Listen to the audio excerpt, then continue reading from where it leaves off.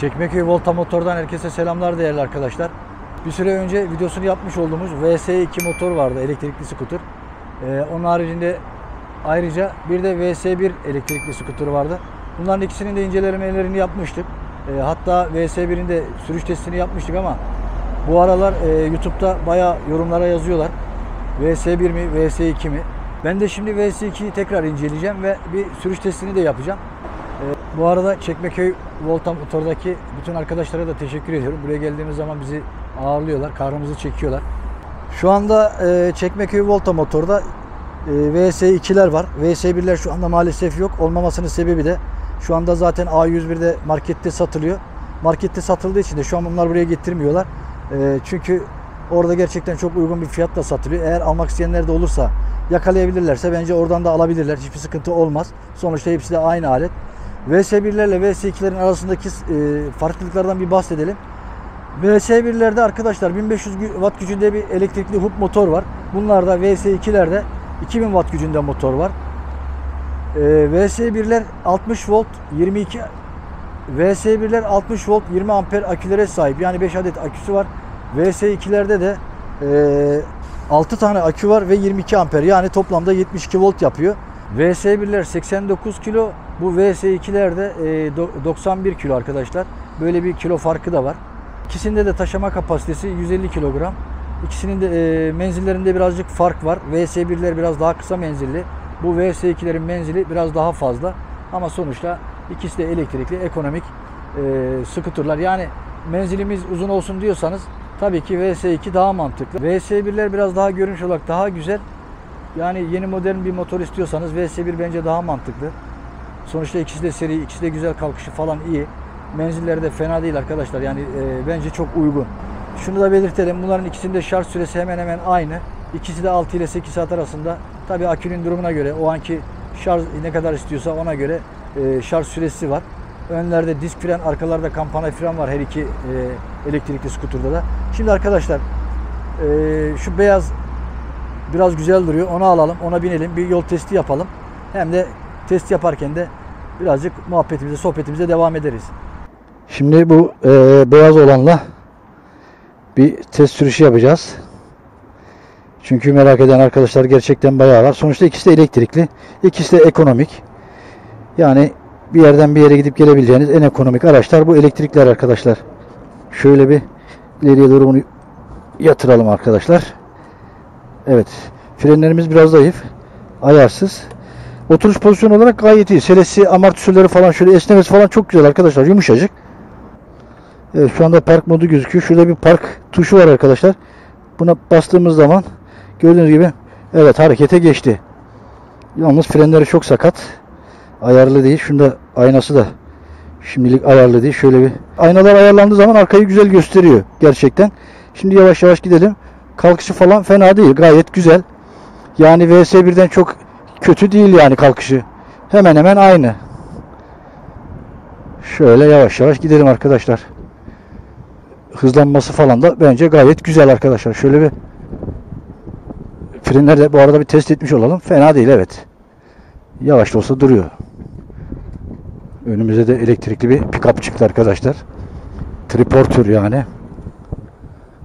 Evet hızlanması yokuş yukarı gayet iyi ya. Vallahi bunun hızlanması VS1'den biraz daha iyi gibi. Evet şöyle bir yokuş yukarı hızlanalım. Amortisörleri birazcık sert gibi. Onun haricinde hızlanması falan şu anda gittiğimiz yer birazcık yokuş. Ee, 30 km hızla çıkıyoruz. Vitesimiz de 3. viteste yani en hızlı modda 30 km hızla gidebiliyoruz. Şöyle. Evet. 30, 24, 26 böyle. Şu anda 27. Yavaş yavaş hızlanıyor. Şöyle buradan bir dönelim. Yokuş aşağı tabi hızlanmayacağım. Çünkü frenlerimiz zayıf. Aynalarımız da böyle dönüyor. Yola oturuşu falan fena değil. Bir de aşağı doğru bırakınca bayağı hızlanıyor. Gidiş olarak amortisörler hariç bence gayet güzel arkadaşlar.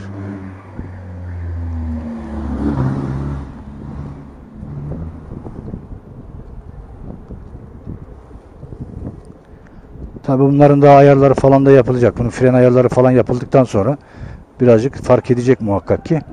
Şu anda frenler falan ayarsız. Ama tabi şöyle bir şey var. Ee, hafif olması gayet iyi bence. Ufak bir araça bindiğinizi hissettiriyor. Yani kullanış olarak pratik diyebilirim. Hani böyle ağır sizi yoracak gibi bir cihaz değil yani. Hemen hemen VS1 ile kullanım olarak aynı. Ama bana VS1 biraz daha rahat geldi arkadaşlar. Onu hani belirteyim. VS2 fena değil evet ama eee arkada bir arkaya dönüp bakmak zorunda kalıyorum. Oradan da bir üç tekerlekli Regal Raptor KLS gidiyordu. K3 KLS daha doğrusu 3 tekerlekli bayan kullanıyordu. Evet elektrikler gitgide yaygınlaşıyor arkadaşlar. Ne yaparsak yapalım. Elektriklilerin yaygınlaşması bence gayet iyi. Şöyle parmağımla da aynayı görüyorum arkadaşlar. Şöyle bakıyoruz. Evet. Şöyle bir hızlanalım bakalım. Şu an 46'yı gösteriyor. 47. Bakayım son kaça kadar çıkacak. Şu an 47'de. Ama VS1 buna göre bence biraz daha dengeli arkadaşlar. Onu söyleyeyim. 48, 49, 50'ye çıktı. Demek ki az önce biraz daha şey ikinci vitesteymiş pardon. Ben ona dikkat etmemiştim. Ama şu anda daha iyi gidiyor. Buradan şöyle bir girelim bakalım arkadaşlar. Hadi kardeş yürü. Aracın şeyi güzel. Ee, gaz hissiyatı güzel yani. Gaza bastığınız zaman anında yiyor. Tabii iki kişiyle ne şekilde gider de- test etmediğim için bilmiyorum ama bir kişiyle gayet güzel gidiyor. Sadece yokuşlarda haliyle biraz yavaşlayacaktır. Bu da gayet normal. Sonuçta elektrikli bir araç yani.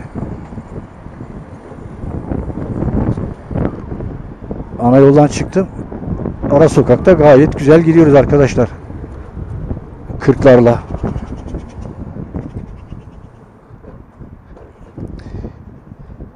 Yani işe gidip gelmek için işe gidip gelmek için bence ideal cihazlardan bir tanesi. Düşünün şimdi eee, bir minibüse bineceksiniz. 10 lira para vereceksiniz. ineceksiniz. Başka bir araca bineceksiniz. Bir 10 lira daha vereceksiniz. İki tane araç de- değiştirdiniz. İşten gelirken iki araç daha değiştireceksiniz. 40 lira para vereceksiniz. İstanbul için konuşuyorum. Şu anda tabii 10 lira diye biliyorum. Zam geldi mi gelmedi mi bilmiyorum. Yani eee, yeriniz ters bir yerse bazen mesafe kısa bile olsa iki tane üç tane araç değiştirmek zorunda kalıyorsunuz. Bence iki tane üç tane araç değiştirmektense böyle bir elektrikli bisiklet alıp ya da elektrikli scooter neyse alıp onunla eee, gitmek çok çok çok çok daha mantıklı arkadaşlar. Onu söyleyeyim yani ben. Şunu bir sollayalım arkadaşlar. Evet. Solladık. Rahat solladık hem de ha. Vallahi billahi. Yani böyle arkadaşlar. Bence gayet iyi elektrikli bir skuter olmasına rağmen. Bunlarda yedek parça sıkıntısı falan olacağını da pek zannetmiyorum. Bunların zaten çoğu bu tarz elektrikli e, skuterların parçaları genelde birbirine uyuyor. Ama e, yani çok fazla servis sıkıntısı yok zaten her yerde. Elektrikli araçların artık servisleri var. Yani elektrikli bisiklet, elektrikli scooter falan. Bunların neredeyse her yerde hemen hemen servislerini artık görüyoruz. Bayağı yaygınlaştı. Gitgide de daha da yaygınlaşıyor. E zaten bu tarz araçların satışı da gitgide yaygınlaşıyor. Yani çoğalıyor yani. Katlaya katlaya gidiyor. Çünkü benzin pahalı, mazot pahalı ama böyle araçlar gene pahalı ama sonuçta bunların kullanım maliyeti gerçekten çok düşük. Yani şöyle söyleyeyim e, 1 liralık 1,5 liralık elektrikle aşağı yukarı 40 kilometre 50 kilometre yol gidiyorsunuz. Videonun başında dediğimiz gibi insanlar VS1'lerle bunların gerçekten bayağı bir e, kıyaslamasını istiyorlar. Biz de alelacele kıyaslama yapıyoruz çünkü şu anda e, Çekmeköy Volta Motor'da elemanların bir kısmı yok burada. En uygun alabileceğiniz yer Çekmeköy Volta Motor. Çünkü burası bir ana bayi. Genelde ürünleri buradan dağıtıyorlar. Onun için de söyleyeyim en uygun Volta ürün alabileceğiniz yer Anadolu yakasında. Daha doğrusu İstanbul'da da büyük ihtimalle gene Çekmeköy Volta Motor'dur diyebilirim. Tabi bizim selamımızı da söylerseniz muhakkak ki size daha da iyi, daha da e, uygun fiyatlar yapacaklardır. Şunu da hatırlatayım. Ben şu anda kafamda kask var. Üzerimde motor giysisi var. Ee, siz de motor kullanıyorsanız eğer ya da böyle elektrikli scooter kullanıyorsanız, elektrikli bisiklet kullanıyorsanız hani benimki bisiklet şeye gerek yok. Ee, böyle giysiye falan gerek yok, yok diye düşünmeyin.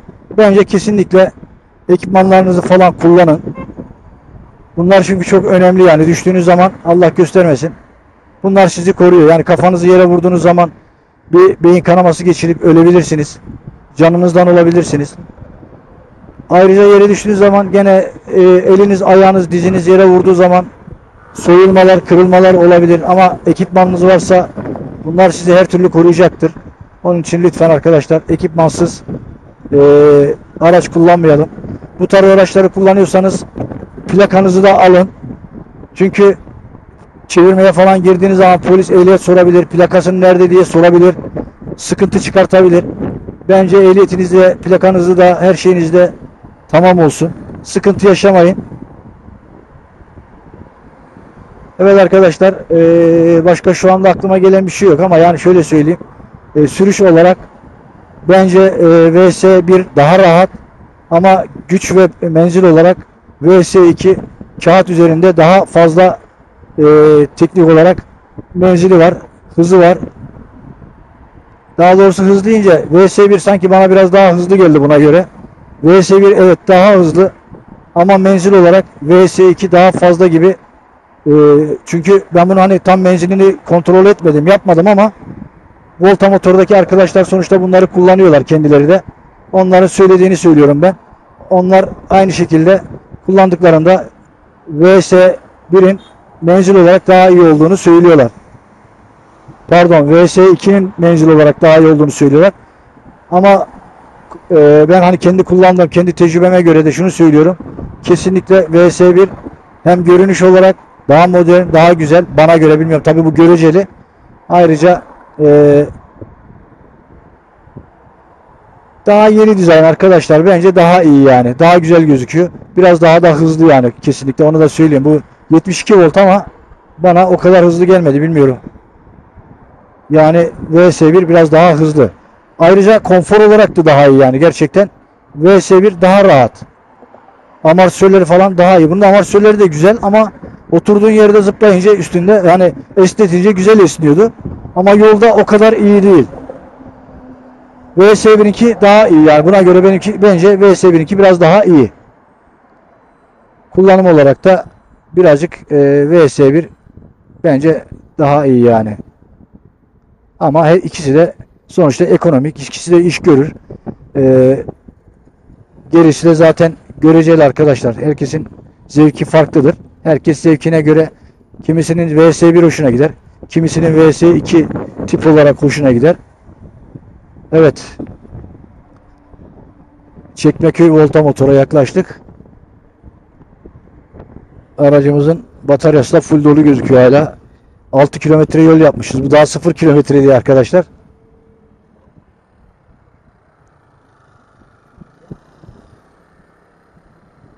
Evet başkan. Aynen öyle. Elektrikli. YouTube'a video çekiyorum. Evet. Sen de çıkacaksın. Mehmet Balon 58. Aynen Suşehri. Eyvallah hemşerim. Allah'a emanet. Evet. Bir hemşerimizle de yolda karşılaşmış olduk. 50 cc zannetti bunu. Ama tabii ki bizim e, skuturumuz 50 cc değil elektrikli. yani bence güzel. Her ikisi de alınabilir ama ben hangisini tercih ederim diye sorarsanız benim fikrim ben kesinlikle eee, kesinlikle arkadaşlar VS1'i tercih ederim. Bence daha güzel. Daha bilmiyorum bana kullanışlı geldi. Bu da güzel kullanışlı ama